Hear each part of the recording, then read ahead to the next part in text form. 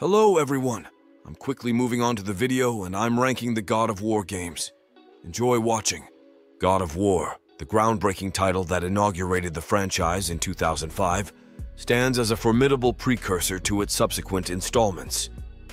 From its riveting combat sequences to intricate puzzles, the game weaves a compelling narrative around Kratos, who paradoxically seeks vengeance for his family despite being their unwitting murderer. Though plagued by occasional pacing issues, the only true drawback lies in its inability to draw from the refinement and iteration seen in its sequels. To fully appreciate God of War's inaugural release, one must contextualize it within the gaming landscape of 2005. The absence of the enhancements introduced in later iterations may be evident, but revisiting the game offers a nostalgic journey back to its roots. The storyline's emotional depth, coupled with the raw intensity of Kratos' quest for retribution, still resonates, ensuring that a return to the origins of the franchise remains a satisfying and enjoyable experience.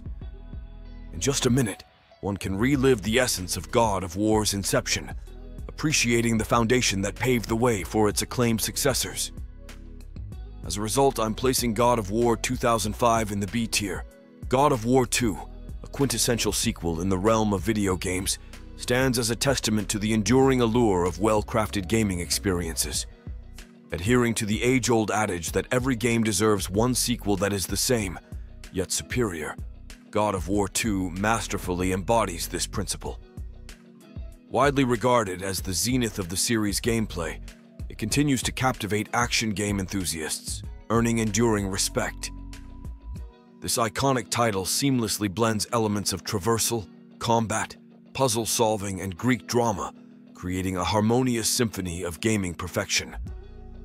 For aficionados of the PlayStation console, God of War 2 serves as a nostalgic beckoning, inspiring them to dust off their older consoles for yet another exhilarating run. In the concise span of a minute, players are transported into a world where each button press resonates with the echoes of an epic odyssey. God of War 2 not only meets, but surpasses the expectations set by its predecessor, leaving an indelible mark on the gaming landscape.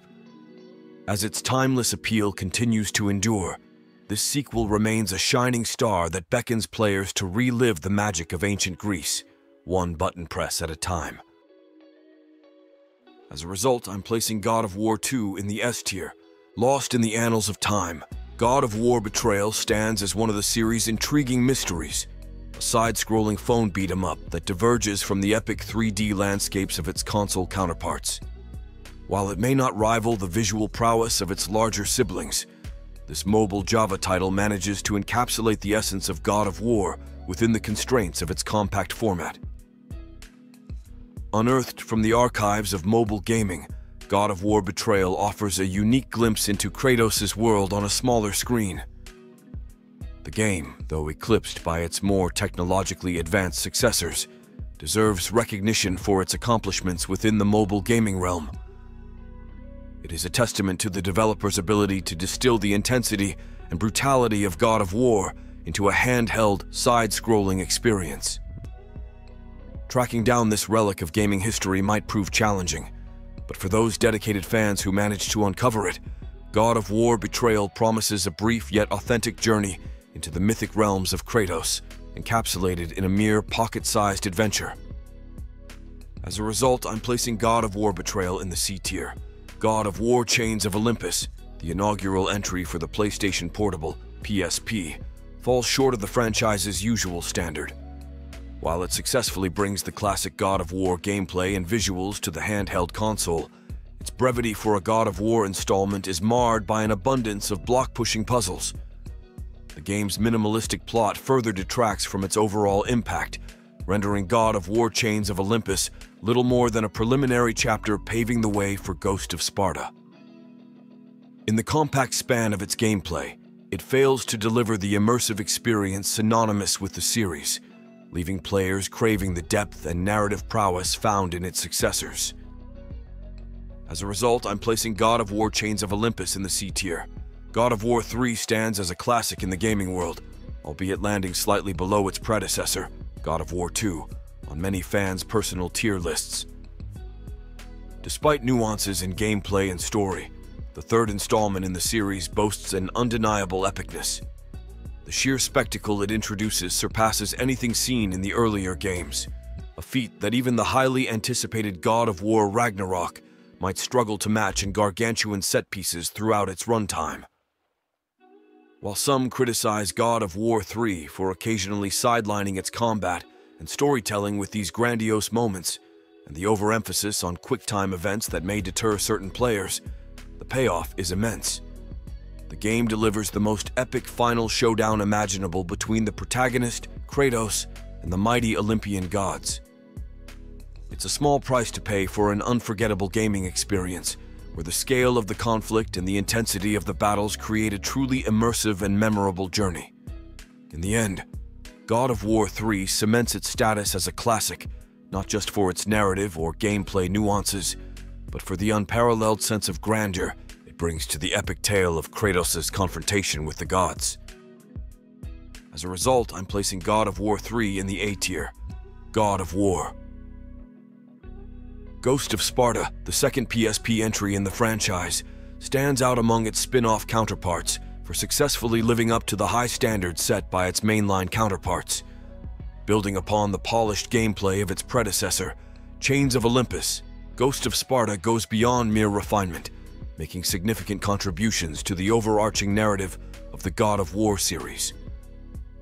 One of the most noteworthy aspects of Ghost of Sparta is its introduction of Kratos' brother Deimos, marking his sole appearance in the God of War universe.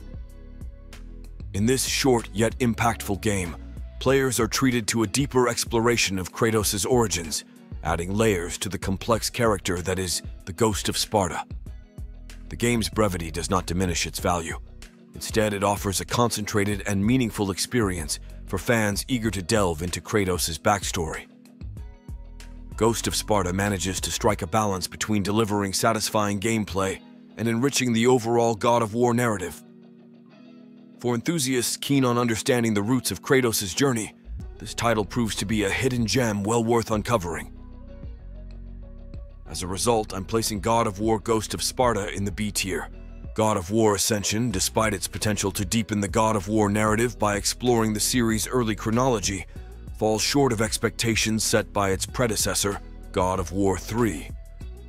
Positioned as a portable offering, Ascension failed to captivate players, showcasing divisive gameplay changes that polarized the fanbase. The earliest installment in the series, while not a bad game, lacks the narrative impact one would anticipate. One of the game's notable drawbacks is its unsteady camera, a feature that, at its worst, obscures combat and hampers the overall gaming experience. Despite introducing intriguing multiplayer elements with unique ideas, God of War Ascension struggles to distinguish itself within the illustrious franchise. It's a title that doesn't quite measure up to the stellar reputation set by its predecessors, leaving fans with a sense of unmet expectations. In the grand tapestry of the God of War series, Ascension stands as a less memorable chapter, failing to shine brightly among its star-studded counterparts.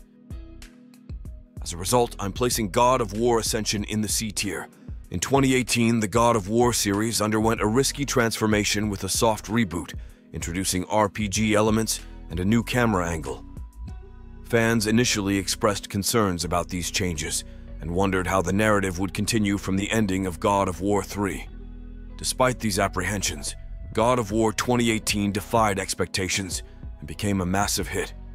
The Norse setting and characters quickly won over fans, showcasing the franchise's ability to take on new forms. While some criticized the limited enemy variety impacting the standout side quests, the overall success of God of War 2018 underscored the series' capacity for evolution. This installment proved that the God of War legacy could thrive in diverse iterations, embracing change and captivating audiences in unforeseen ways. As a result, I'm placing God of War 2018 in the A tier. God of War Ragnarok, the latest entry in the legendary gaming series, seamlessly continues the narrative and gameplay introduced in the 2018 game, successfully concluding the Norse saga in just two installments. While the game's length may test the patience of some players, It effectively addresses and resolves every concern raised about its predecessor. Expanding on the foundations laid by the 2018 title, Ragnarok crafts a mesmerizing story that provides a gratifying conclusion to the Norse mythology arc. The commitment to refining the gaming experience is evident, positioning God of War Ragnarok as one of the standout first-party titles on the PlayStation 5. Game's meticulous attention to detail and dedication to pushing the boundaries of gameplay contribute to its distinction. God of War Ragnarok not only meets, but surpasses expectations, earning its place as a must-play for both series enthusiasts and newcomers.